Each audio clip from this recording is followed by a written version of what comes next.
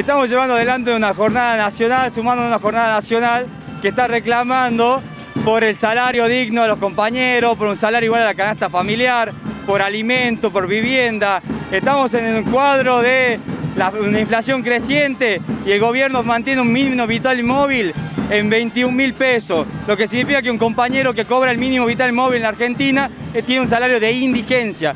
Estamos planteando básicamente que ningún compañero, ninguna persona en Argentina tiene que eh, cobrar por abajo de la, canasta básica familiar y que una canasta básica que nosotros medimos con el INDEC, pero es mentirosa, 58 mil pesos todavía es mentiroso. Lo que estamos planteando es que hay, tiene que haber una solución para los trabajadores y para los miles de desocupados que existen en la Argentina.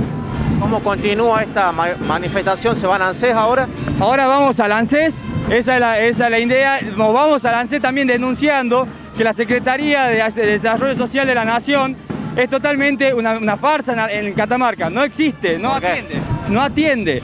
Eh, hay un, par de ñoquis capaz que en ese, en ese lugar, porque no abren las oficinas. No vamos a ir a una oficina que es totalmente es una cáscara vacía. Por eso entendemos que el ANSE es el único organismo, como el PAMI, que atiende en la, provincia.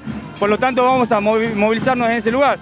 Pero bueno, vamos ahí, ahí concentramos y vamos a intentar hacer un acto. ¿Cuántas personas eh, participan de esta marcha? Mira, no sabemos bien, no sabemos bien, no vamos a tirar números, pero lo que son es, es contundente y en Plaza de Mayo, hoy en la misma movilización, con el mismo cuadro, va a haber 100.000 personas. Por lo tanto, en todo el país hay millones de personas movilizadas hoy. Por lo tanto, acá en Catamarca no es un grupo despreciable, es un grupo importante de compañeros y un grupo de desocupados que somos independientes de este gobierno y que le venimos a decir al gobierno provincial, nacional y a los, a los gobiernos municipales no alcanzan con los sueldos, no alcanzan con la asistencia que dan a, los a las barriadas, vamos por más y vamos a seguir creciendo.